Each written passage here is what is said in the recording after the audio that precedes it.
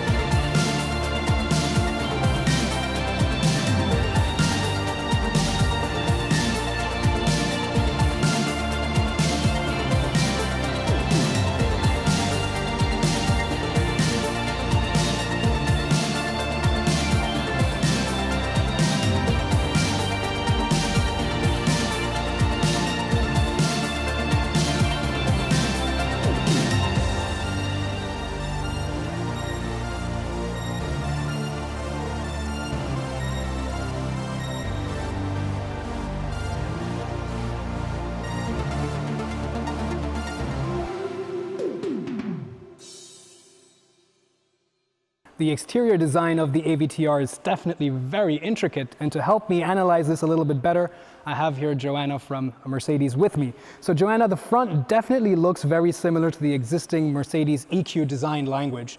So is that true, or is this something that you know you envision uh, as a company that you're moving towards this kind of a design for your electric cars? Um, what are the unique things about the front uh, that connects this car to a Mercedes? So for sure the whole car um, follows our EQ design language and you can see a lot of parts what you also see um, on the past cars and the and um, for example, um, the exterior color, like with the silver and the rose gold accents, really follow our EQ strategy, and you will see that on a lot of cars from our side, from the EQ. So if we walk towards the side, now one major talking point about this uh, concept are the wheels. Now I know that the wheels are, you know, they can rotate, the rear axle also steers, the car can crab. Um, so what are the, you know, what is this trying to envision? What are the concepts behind these flowing colors and the lights uh, into the inside of the wheel? Maybe you can tell me a little bit about that. Yes, so they are really inspired by the movie from the Wood Sprites who come out from the Tree of Soul in the movie. Um, so this was the inspiration, and I guess you can see it really well. And also the colors, um, my colleague Mark will explain you more about it, what for functions they can have. Mm -hmm. And I also see that, of course, being a concept, there's no requirement to meet any safety regulations and so on. But I do like this really expansive, large window slash door coming together. So is this also something that uh, Mercedes is, you know, in terms of bringing the exterior inside or the fact that it's an, it's an electric car, uh, you don't, you're not restricted by a lot of the conventional design uh, philosophies because you don't have an engine in the front and so on. So maybe a little bit about the side profile and what makes this unique and how perhaps we can see something of this ethos going forward with Mercedes. Yes. So the really wide opening also um, shows you the strong inside-out structure, what you can see here. For example, the line who's running through the opening also runs through the interior, it becomes the headrest then. So it's a really connection and also with the big glass we wanted to show that it is one sculpture and that it connects each other. All right, the main thing that I notice right away here at the back are these moving flaps. It's almost bionic, very organic. So is this designed to be like that? Is it supposed to seem like a living thing? Yes, it's really designed to be like so. If you come to the car, the car registers you, and then it starts to breathe. Um, so it's an emotional, um, living organism, the whole structure and the whole car. So it's like it's like a puppy, you know, greeting you when you come home from work. It's really excited to see you. So it's really excited when you come into the garage to start driving. Um, another interesting element that I see down here are these like large buttresses um, with these really beautiful flowing lines with these lights. Now, is this also to again kind of evoke, you know, that sensation of speed while it's standing still? Uh, what is the, the, the design ethos behind uh, this area? So it also follows the merge uh, scene, so that it really comes from the interior to the exterior, the neurons, um, we call it like this, and also to see the connection between the interior and the exterior again. So great. Well, I don't know if I'm ever going to see something like this on the road in my lifetime, but uh, certainly from the exterior design, I think it's a cracker. Now let's divert our attention to the interior. So of course the design language also continues. I see the flowing lines, but I'm also interested in the sustainable materials. So let's start with the design first. Can you tell me a little bit about these lines? Yes.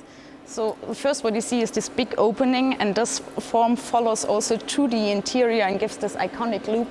This is inspired by the um, dragon riding from the movie where the Na'vi is connecting to each other. Um, then this line goes progressively to the headrest from the front. So the line is um, enclosing the front passenger, goes through the uh, front, uh, front um, seat and gives the headrest. And the front seat is in central concave and convex shapes in a mono volume. Mm -hmm. um, and then you can see this really nice and big um, surface, what is also inspired by the Tree of Soul. So it's coming from the rear, going to the front through the dashboard and is dramatically, dramatically going out to the A-pillar. And there we used like several pieces in different tinted colors, so from transparent to opaque, mm -hmm. that you have the seamless connection. And then we come to the um, roof structure. And there um, we used 100% um, recycled material made of PET bottles. Mm -hmm. And um, on the front seat and all what is covered um, in white is Dinamica. We also use that in our serial production, so it's right. also um, a material made of 100% recycled polyester. So they use old closures, flags, and also the um, cutting rests of the production. Mm -hmm. So they have a whole entire um, ecological product cycle.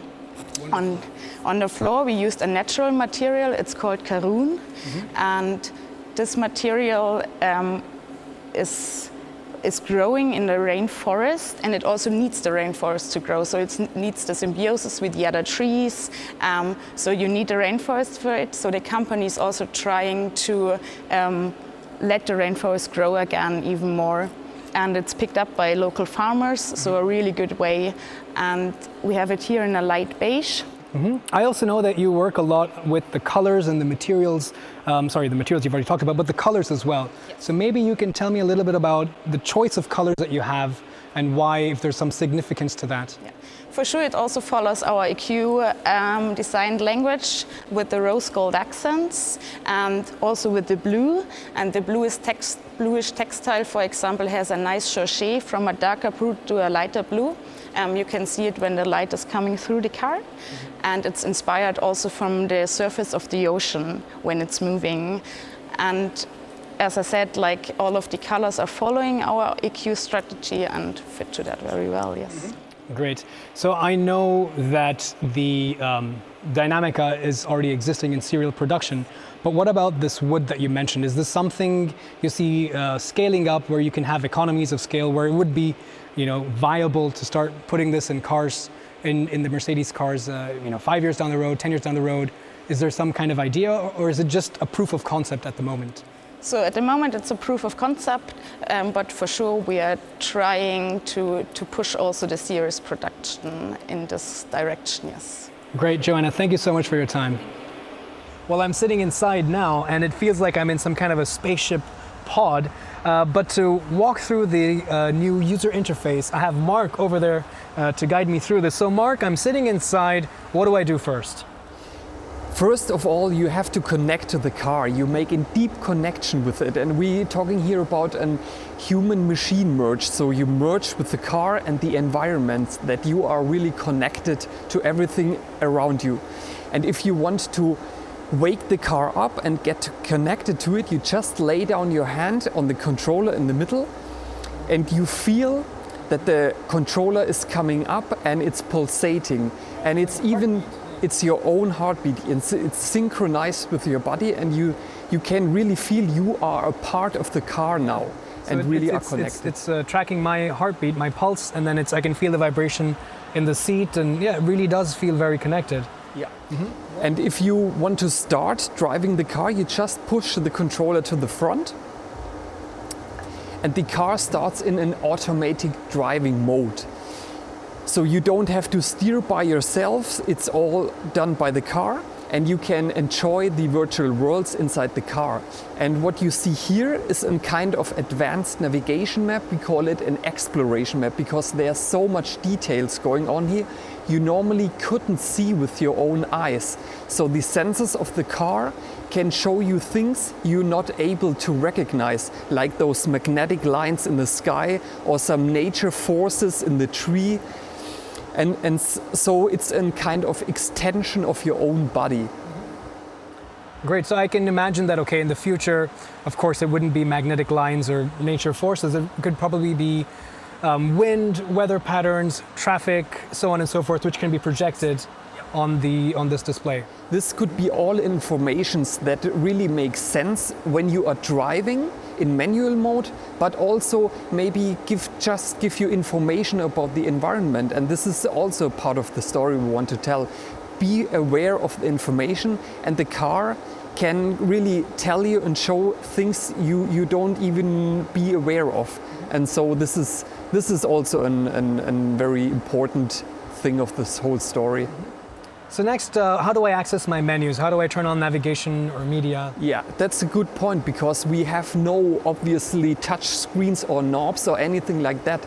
And you, you probably, it would be inconvenient to reach out for a touch screen. So we came up with a really innovative interface here and it's pretty easy and straightforward. You just raise your left hand and magically there appears a kind of menu on your hand. So, so the user interface is merged with your own body. So the interface comes to you. You don't have to reach out for it. And you can easily slide through the menus. We get a, ma- a main menu and a sub menu. And if you close your hand, and there, this is a way you can access content and, and change the scenes on the dashboard. So feel free to just choose any content you want. And now we jump into an POI, and the car is showing you in a very immersive way what's going around you. And and you can, can see, hear, and feel nature in, an, in a very different way you normally could in a normal conventional car. Great. So how do I go back to the main menu? If you want to go back, you just uh, turn your hand around and switch it again, and th- then you are back into the main menu, and again can switch the content. Very interesting. So, I guess, of course, this kind of technology for navigating through menus would only be applicable in an autonomous vehicle because right now, if you were going to drive a car, um, it's not practical to use this kind of projection and hand gestures. But uh, I think it's a great idea.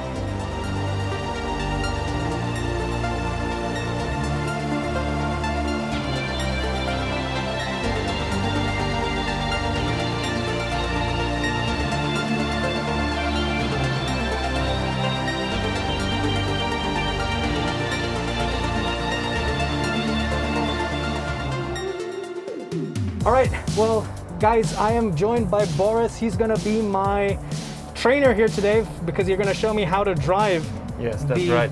the Mercedes Vision Avatar. The sky is beautiful, the sun is just setting, so perfect time to take out this wonderful car.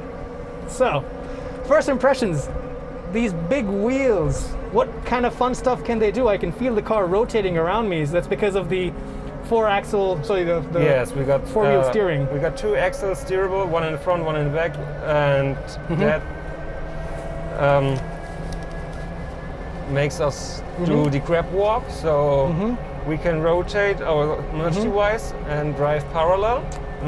Just for uh, switching lanes, Mm-hmm. or if you want to go around um, small corners, we Mm-hmm. can just push it to the side, and yeah, we got some Mm-hmm. pretty nice handling car. Wow, interesting. So everything is controlled with this one interface. Yes, correct. I just need to Mm-hmm. place my hands on all merge device. There's no steering wheel, Mm-hmm. no gas or brake pedals. Just by pushing forward, we Mm-hmm. accelerate. And I can show you some stuff we can do in this corner. Mm-hmm. So I can mix both kinds of steering by going kind of a drift mode. Oh, wow. So Okay, it's, you're it's pretty intuitive. you're channeling your inner Kenny Block. Correct. All right. Okay. Now, how do you control the speed? Because I see that it's speeding up a little bit. Is it kind of autonomously deciding the speed, or No, Are it's, you- it's, it's just me by pushing it forwards or brake, bringing it back to neutral for Okay. Mm-hmm. rolling, or if you, we want to stop, we just hit the Ah, brakes. Okay, fantastic.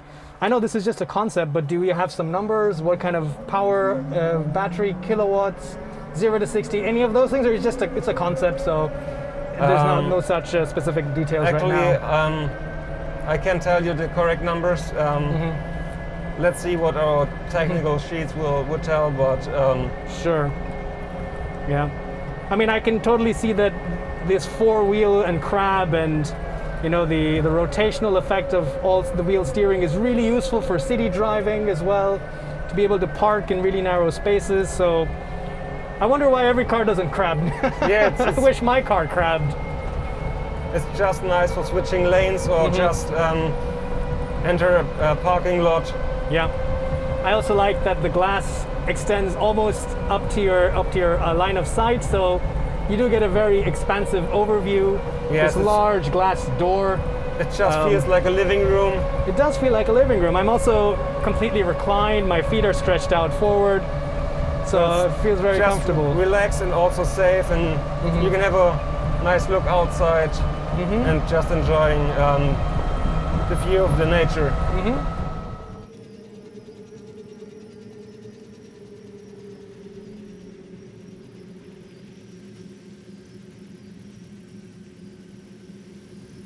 So this is a completely new user interface for me. Never driven anything like this before. Ooh, and it's alive. It's very intuitive though. I just have to gently move forward and then it's, you know, just move this, uh, this, what do you call this? Just joystick forward. Then if I leave it, it stays in that position. If I tilt it back, then it slows down. If I just rotate the top cap, this plastic piece, then it crabs. Well, I could totally get used to this. I mean, I do miss as a, you know, if I were to review this car, I do miss having a steering wheel and the uh, and, and, and brake pedals and a manual transmission. But if this is the future, sign me up. This is a lot of fun. It can go pretty fast, but I'm not going to push it here today. So let's just turn it around.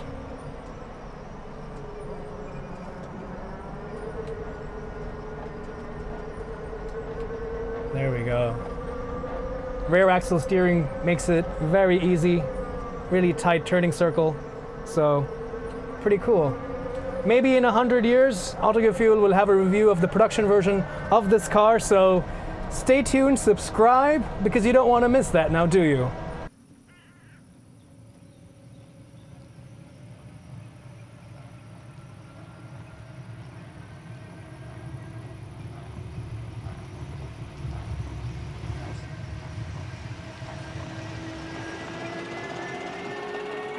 Had a great experience here today with the Mercedes Vision AVTR. I can definitely see in the future with autonomous vehicles the uh, user interface. But let me know what you guys think. Put it down in the comments below.